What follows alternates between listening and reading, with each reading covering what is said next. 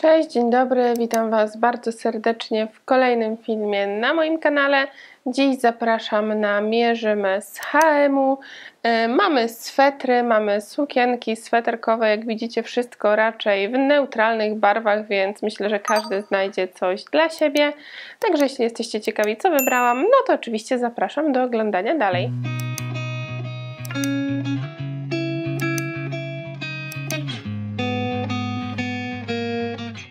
Zaczniemy sobie od sweterków krótkich e, i tutaj na początek mam taki klasyczny szary sweter w białe paski, także wskakuję w niego i zobaczymy jak będzie się prezentował. Pierwszy sweter jest w rozmiarze L, jest w 60% z bawełny, więc e, całkiem nieźle w stosunku do ceny.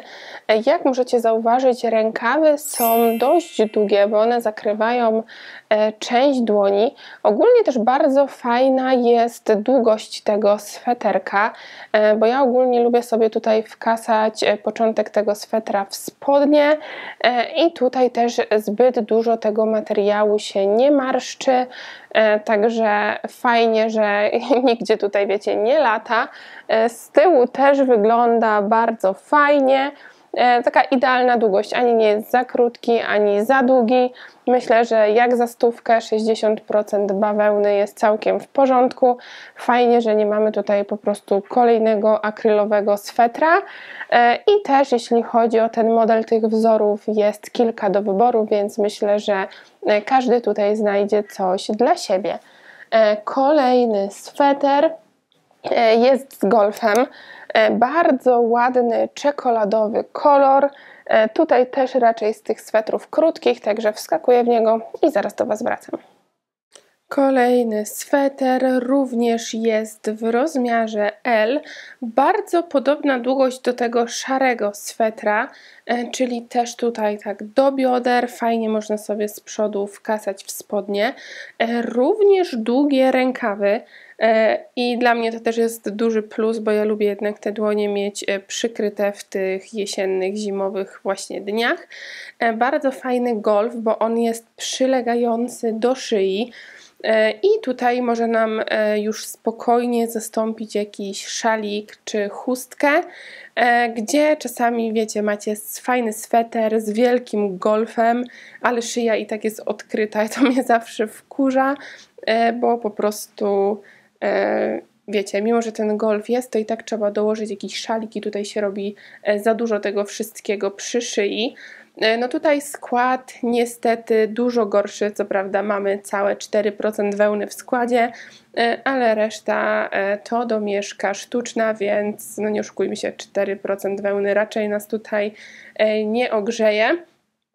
Bardzo ładny kolor, bo to jest taka czekolada troszkę przełamana takim melanżem, przez to ten kolor jest nie do końca oczywisty. E, tak prezentuje się wyciągnięty, on jest naprawdę dość spory ten sweterek. E, z tyłu też ładnie wygląda.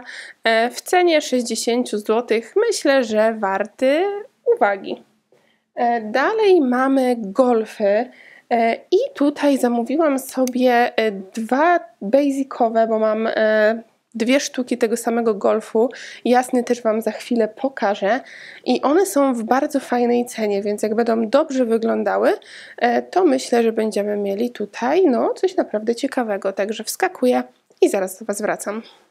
Golfik jest w rozmiarze L, ma 72% wiskozy w składzie, więc super.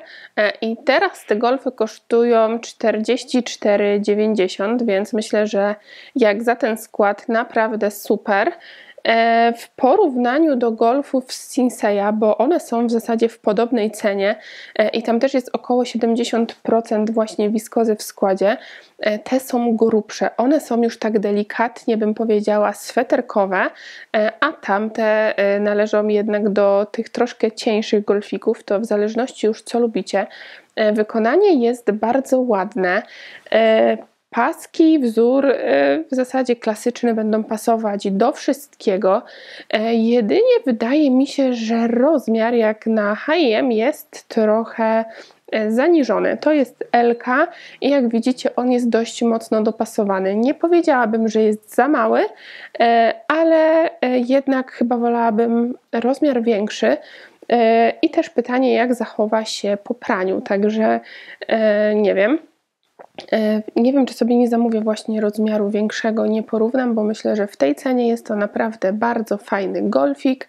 E, z tyłu też prezentuje się naprawdę bardzo dobrze, e, więc jeśli szukacie właśnie takich klasycznych golfów, no to mam tutaj właśnie jeszcze kolor taki kremowy i zaraz go sobie przymierzymy, ale oprócz tego są jeszcze szarości, czernie, także każdy znajdzie coś dla siebie a ja tymczasem wskakuję i zaraz do Was wracam. I tutaj mamy ten sam golfik w kolorze białym i to jest taka biel wpadająca w odcienie kremowego, więc to miejcie na uwadze. Wydaje mi się też, że ten wypada delikatnie większy od tego w paski, więc może być tak, że po prostu każdy kolor wypada inaczej, jeśli chodzi o rozmiarówkę, bo to jest niestety w chemie bardzo częste. E, I właśnie przed chwilą zerknęłam, że e, oprócz właśnie tych dwóch kolorów, które Wam pokazałam, występuje jeszcze bardzo ładny odcień beżu, taki miętowy kolor, granatowy i czarny i wszystkie kolory są w tej chwili za 45 zł, więc jeśli szukacie golfu z fajnym składem, to myślę, że warto się zainteresować, bo jest to naprawdę e, ciekawa opcja, tym bardziej w tym budżecie i na ten moment praktycznie wszystkie kolory są dostępne we wszystkich rozmiarach, także e, warto sobie sprawdzić. I dalej mamy klasyczny sweterek w paski.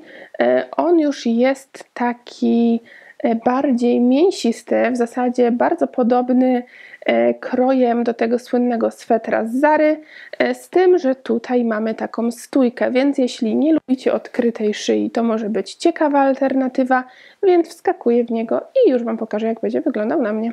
Jeśli chodzi o ten sweterek, to jest on w rozmiarze L. E, ma bardzo ładny odcień takiego chłodnego beżu, wpadający trochę w szarość. E, ogólnie jeśli chodzi o krój, jest bardzo ładny. E, tutaj ma też takie rozcięcia po bokach, stójkę, którą ja osobiście bardzo lubię, bo no nie lubię mieć zbytnio odkrytej szyi właśnie zimą. Jedynie co się można przyczepić to niestety do składu, ponieważ 6% w składzie to wełna, a cała reszta to po prostu poliester z akrylem, więc no ten sweter raczej nie będzie Was ogrzewał, tylko grzał, także E, jeśli Wam to nie przeszkadza, no to cena też jest powiedzmy w miarę ok, bo to jest 130 zł. E, no ale tutaj na przykład e, w przypadku tego pierwszego sweterka mieliście 60% bawełny, więc ten skład już był dużo lepszy.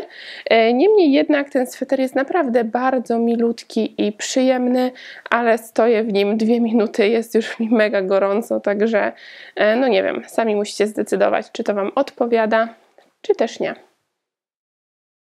I jeśli chodzi o krótsze swetry, to byłoby na tyle. Mam jeszcze trzy sukienki sweterkowe. E, pierwsza z nich to taka e, cieńsza grafitowa sukienka, więc wskakuję w nią i zaraz do Was wracam. Tutaj sukienka jest w rozmiarze L e, i ona wygląda jakby była taka trochę wełniana. E, niestety tutaj też w składzie mamy 4% wełny, e, reszta to domieszka sztuczna, czyli poliester z akrylem. Bardzo ładny kolor, jednak dla mnie, jak na ten okres jesienno-zimowy, na pewno zbyt wycięty dekolt, bo on tu jest bardzo mocno wycięty. E, tutaj jak widzicie nawet połowa ramion jest wycięta. E, no i też chyba jest jednak troszkę za krótka. E, tym bardziej myślę, że w tej cenie 90 zł znajdziecie już coś z lepszym składem i coś też wyglądającego jednak trochę lepiej. To jest takie w porządku, ale szału tak naprawdę nie robi.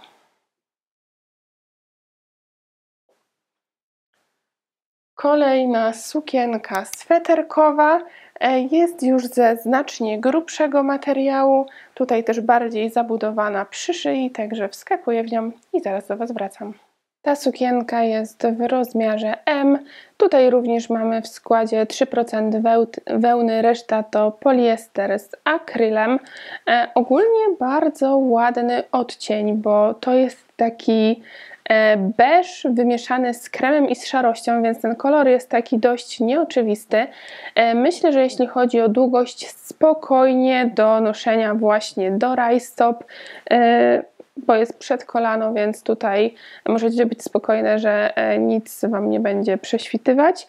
E, długie rękawy, bo jak je odwiniecie, to one przykrywają praktycznie całą dłoń, e, więc można sobie je nosić na różne sposoby.